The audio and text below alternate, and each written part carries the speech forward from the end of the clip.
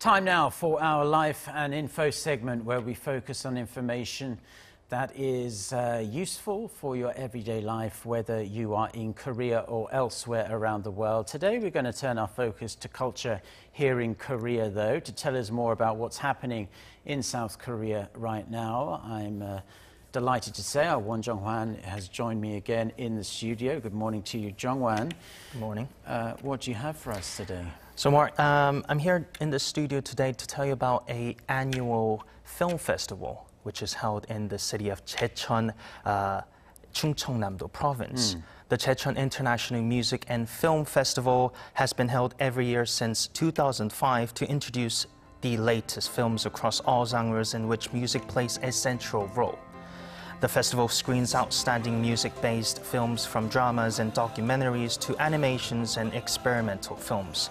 The festival runs from today until August 13th, with Jecheon's beautiful Cheongpungho Lake as a fitting backdrop. And one of the committee members says this time visitors will be able to get closer to the festival than ever before. This year marks the festival's 15th anniversary, and under the slogan of Into the Citizens, we've prepared some programs to be held in downtown to get even closer to the visitors. So it's a big uh, anniversary, of course. So what's uh, special about this year's edition of this festival? So this year's uh, festival is expected to be the largest ever uh, in the festival's history, with over uh, 120 films uh, from nearly 40 countries, including Japan and China, being screened. Okay. Uh, I cannot go through all the films that will be screened uh, over the six days, mm. but let me just quickly introduce you the opening film, Inna de Yard, The Soul of Jamaica. The film was directed by Peter Webber, who is best known for directing Hannibal Rising. It's a documentary film about legendary Jamaican reggae musicians in which reggae music and the performers' touching stories are set against a backdrop of beautiful Jamaican scenery. The film will be screened just after the opening ceremony, which will take place this evening at 7 p.m.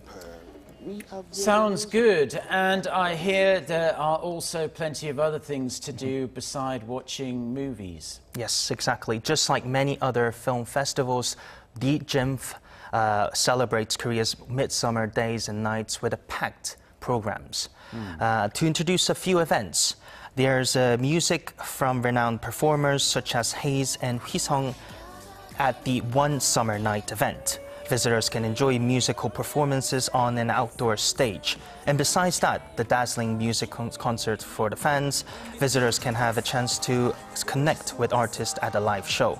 Charming artists and guests at the JIMF Live Music Talk will tell stories and explain the reasons behind their work.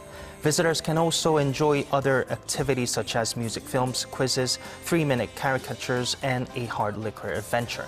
So for those music and movie fans staying here in Korea, why not try Jecheon this weekend? Well, a glowing recommendation from our very own Won Jung-hwan. Thank you very much for sharing that with us, Jung-hwan. And uh, we'll see you again next time. Next time. Thank you.